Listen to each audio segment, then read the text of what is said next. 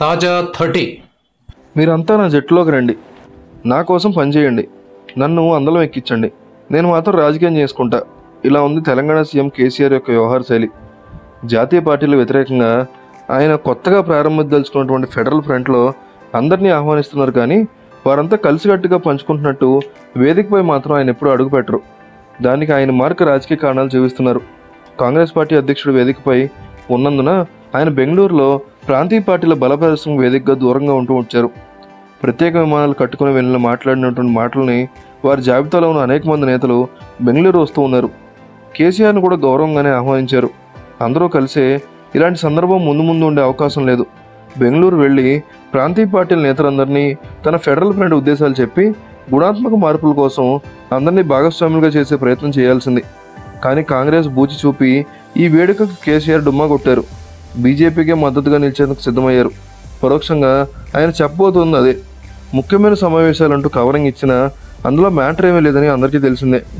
నిజానికి కుమారస్వామి ప్రమాణ స్వీకారానికి హాజరవుతున్న పార్టీలేమీ కాంగ్రెస్కి మద్దతు ఇచ్చేవి కావు. చాలా పార్టీలు ఎన్నికలకు ముందు కాంగ్రెస్తో పొట్టు పెట్టుకునే ఉద్దేశంతో కూడా లేవు. కుమారస్వామి సర్కారు కాంగ్రెస్ సపోర్ట్తో ఏర్పాటవుతుంది కాబట్టి రాహుల్ ప్రమాణ స్వీకారోత్సవానికి హాజరవుతున్నారు. అంతేకాదు ఆ కార్యక్రమానికి వెళ్తే కాంగ్రెస్కి మద్దతు ఇస్తారని ఎవరూ భావించరు కూడా. కానీ ఇది మోడీ వ్యతిరేకత కూటమిగా ప్రచారంలోకి రావడంతో కేసీఆర్ ఉలిక్కిపడ్డారు. ఏదో కారణం చూపి డుమ్మా కూడా కొట్టారు. లేకపోతే మోడీకి కోపం వస్తుంది కదా.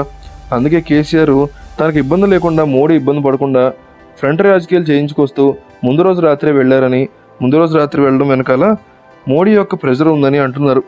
అయితే మోడీయే స్వయంగా ఈయనతో మాట్లాడి వెళ్ళమన్నారా? లేక వెళ్ళొద్దని వార్నింగ్ ఇచ్చబట్టే ముందు రోజు రాత్రి వెళ్ళాలా అనేది ఇంకొవరకు తెలియాల్సి ఉంది. కేసీఆర్ చెప్తున్నటువంటి ఫెడరల్ ఫ్రంట్ సక్సెస్ అవుతుందని మీ ఉద్దేశం అయితే సక్సెస్ అని ఫెయిల్ అవుతుందనేది మీ ఉద్దేశం అయితే ఫెయిల్ అని మీ రియాక్షన్ని ఈ వేదిక మీద పంచుకోండి. ప్రతి ఒక్కరూ కూడా మీ యొక్క రియాక్షన్ ఇవ్వడం మర్చిపోకండి.